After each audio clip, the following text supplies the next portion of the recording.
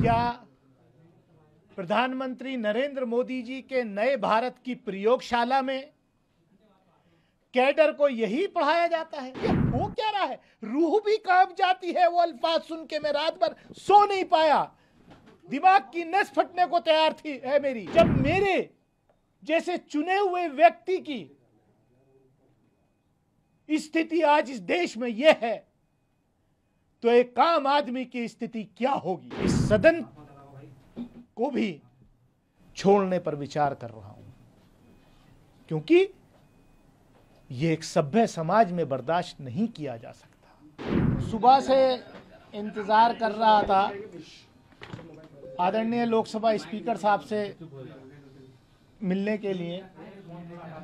Unfortunately वो उपलब्ध नहीं हुए हाउस में। मैं पार्लियामेंट से अभी उनके ऑफ़िस में अपना खत रिसीव करा करके आ रहा हूँ। और मुझे उम्मीद ही नहीं, पूरा यकीन है कि आदरणीय लोकसभा स्पीकर कल की घटना का संज्ञान लेते हुए जो उचित कार्रवाई है, वो करेंगे। मैंने नोटिस दिया है, क्योंकि सब चीज़ रिकॉर्ड पे है। और ये पहली बार हुआ है कि एक चुने हुए सांसद के खिलाफ इतनी अमर्यादित भाषा, इस तरीके की धमकी, मैं पूछना चाहता हूँ, क्या आरएसएस की शाखाओं में? क्या प्रधानमंत्री नरेंद्र मोदी जी के नए भारत की प्रयोगशाला में कैडर को यही पढ़ाया जाता है? जिस तरीके का कल दुनिया की लोकतंत्र की we are mother of democracy according to honourable prime minister and we are proud of it उस मदर ऑफ़ डेमोक्रेसी के टेंपल में एक चुने हुए सांसद के खिलाफ जिस तरीके के अल्फाज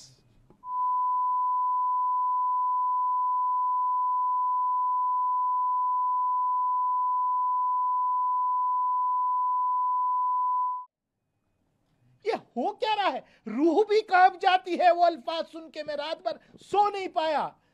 दिमाग की नस फटने को तैयार थी, है मेरी। मैं इंतज़ार कर रहा हूँ कि मैं करूँ तो करूँ क्या?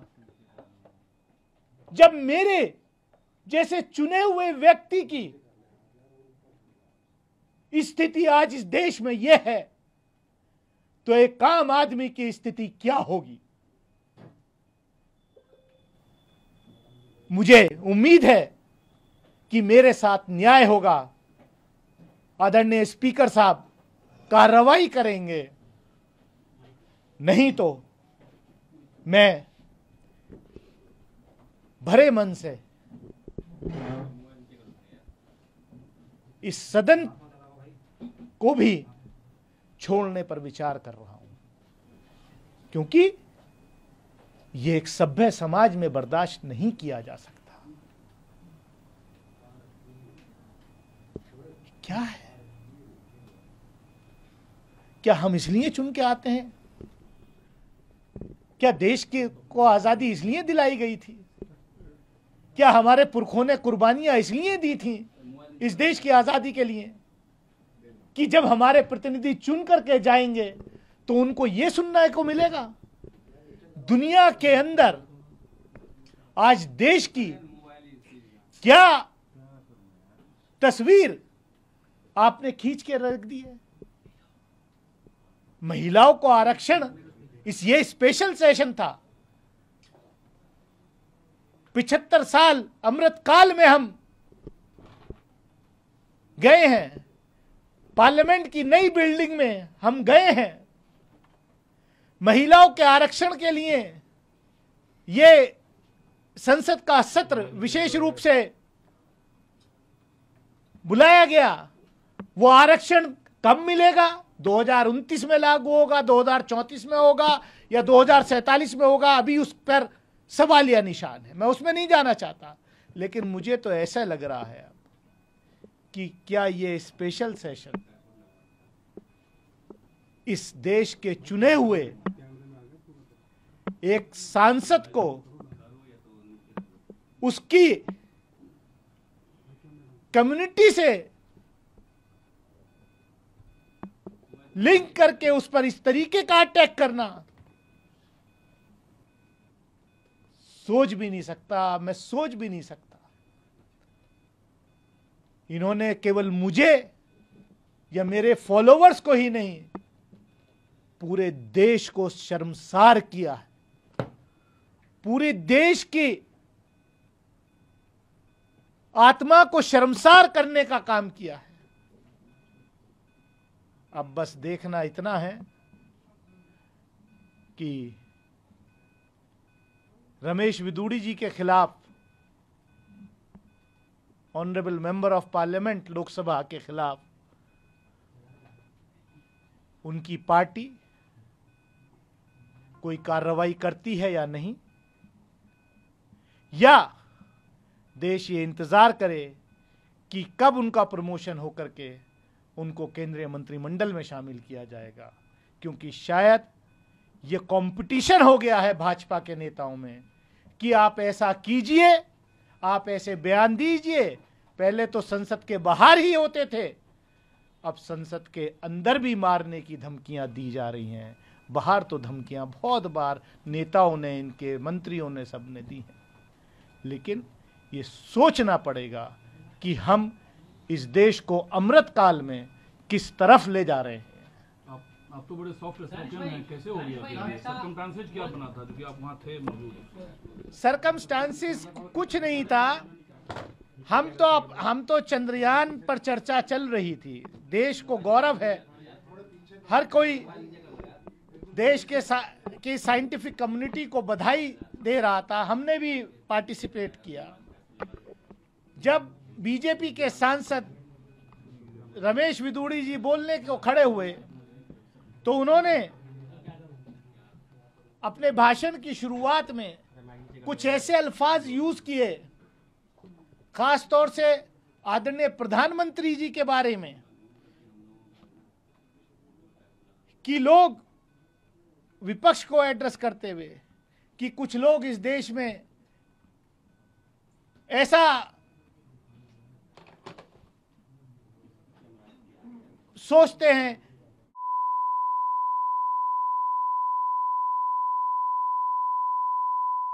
मतलब मैं वो अल्फाज यूज़ नहीं कर सकता कि ये हमारे देश के आदरणीय प्रधानमंत्री के, को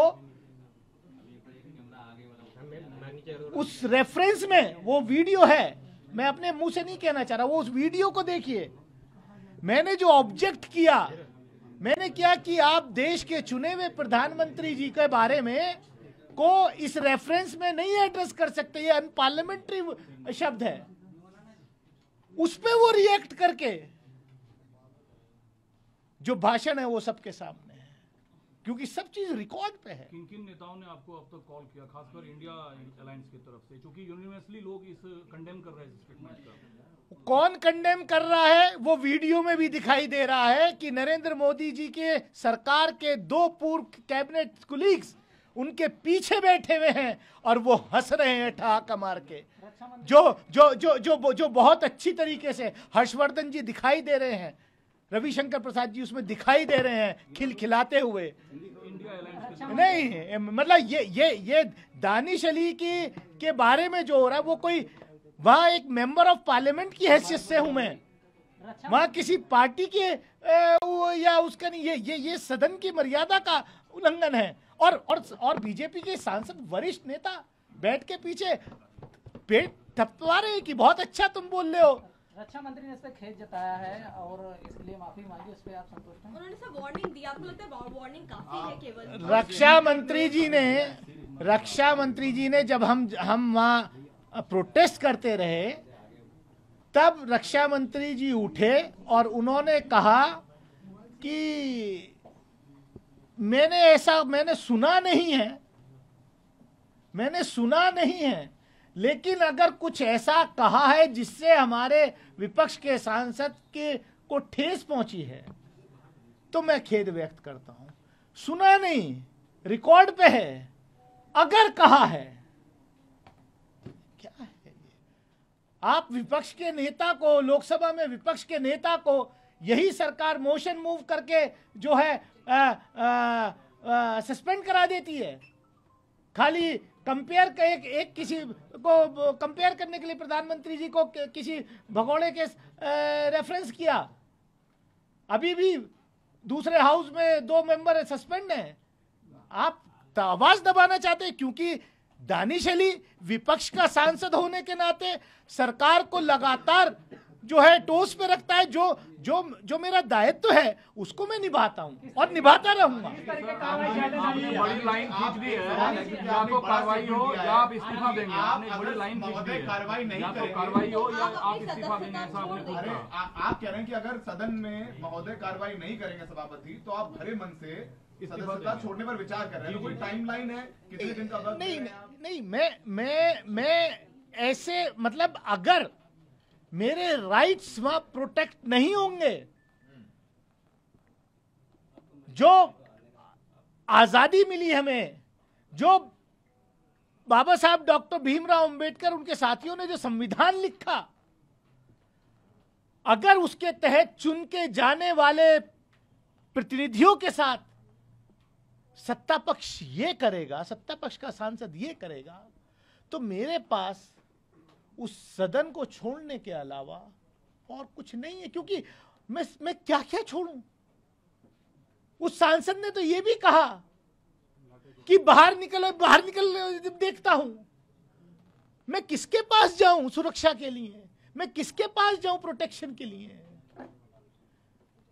मैं, क्योंकि आदरणीय लोकसभा स्पीकर हमारे जो हैं गाइड हैं हमारे हमें हमें वो प्रोटेक्ट करते हैं हमें पूरी आशा है पूरी उम्मीद है कि वो वो हमारे अख्तियारातों को जो हमारे उनको वो, वो जो है बचाएँगे। वरना कैसे चलेगा है हो हो है कि स्पीकर कह रहे हैं कि उन्होंने वार्निंग दी है। कहा जा रहा है कि रमेश बिदुड़ी को इस मामले में वार्निंग देके छोड़ा गया है कि अगर आगे ऐसा करते हैं तो कार्रवाई होगी। क्या आश्वासन मुझे- कमेंट से वो स्पंज करने के लिए कहा मुझे मैंने दोनों मैंने दोनों चीज़ के लिए चिट्ठी दी है कि जो उन्होंने जो बीजेपी के सांसद ने मेरे बारे में अमर्यादित भाषा का उपयोग किया है सदन में उसको एक्सपंज किया जाए। मैंने ये भी चिट्ठी रिसीव कराई है। और मैंने प्रिविलेज मोशन प्रिविलेज का नोटिस भी दिया है। अब ये आदरणीय स्पीकर साहब का प्रोरोगेटिव है कि वो क्या कार्रवाई करते हैं। टीएमसी की तरफ़ से दानिश जी कहा जा रहा है कि ये सिर्फ़ अनपार्लियामेंट्री लैंग्वेज का मामला नहीं है हेट स्पीच का मामला है। रमेश बिदुड़ी को सस्पेंड किया जाए प्रिविलेज मोशन मूव किया जाए। अगर ये हेट स्पीच नहीं है, जो कल सदन के अंदर हुई है तो मैं समझता हूँ कि देश में कोई और हेट स्पीच तो हो ही नहीं सकती। जब भाजपा के नेता, सांसद लोकसभा के अंदर, पार्लियामेंट के अंदर ऐसी हेट स्पीचेस कर सकते हैं तो ग्राउंड पे तो क्या हाल होता होगा, ये पूरा देश और दुनिया देख रहा है। आपकी? मायावती से बात हुई है एक मिनट मेरी मेरी मेरी किससे बात हुई है, किससे नहीं बात हुई है मेरा मोबाइल, मैं मैं किसी से भी बात करने से पहले मैं, हमारे जो संरक्षक हैं, लोकसभा के स्पीकर, मैं उनसे मिलना चाहता था, उनके पास गया था, लेकिन अनफॉर्चुनेटली वो आज दफ्तर नहीं आए, मैं इंतज़ार करता रहा, मैं अपने यहाँ पत्र जो है दफ्तर में रिसीव करा करके आ गया